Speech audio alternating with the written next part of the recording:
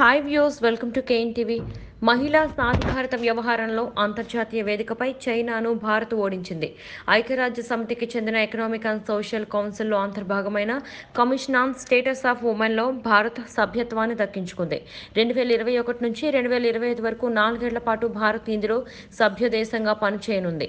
సిఎస్డబ్ల్యూలో భారత్కు సభ్యత్వం లభించడం అంటే మహిళా సాధికారత దిశగా భారత ప్రభుత్వానికి ఉన్న చిత్తశుద్ధికి దక్కిన గుర్తింపుగా ఐరాసాలో భారత శాశ్వత ప్రతినిధి టిఎస్ తిరుమూర్తి హర్షం వ్యక్తం చేశారు. ఈ విషయంలో భారత్కు మద్దతు తెలిపిన సభ్య దేశాలకు ఆయన ధన్యవాదాలు తెలిపారు. సిఎస్డబ్ల్యూలో సభ్యత్వం కోసం ప్రధానంగా మూడు ఆసియా దేశాలు భారత్ చైనా ఆఫ్ఘనిస్తాన్ మధ్య పోటీ నెలకొంది.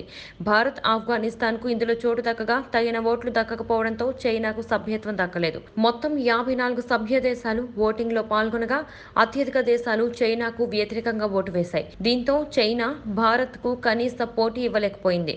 నలభై ఐదు ఐరాస సభ్య దేశాలకు సిఎస్డబ్ల్యూలో సభ్యత్వం ఉంది. లింగ సమానత్వం మహిళా సాధికారిత మహిళా హక్కులు మహిళల జీవన ప్రమాణాలు పెంపొందించడం కోసం ఇది కృషి చేస్తుంది. దీనికి సంబంధించి ఆయా దేశాలు చేపట్టే కార్యక్రమాలకు సిఎస్డబ్ల్యూ నిధులను కేటాయిస్తుంది.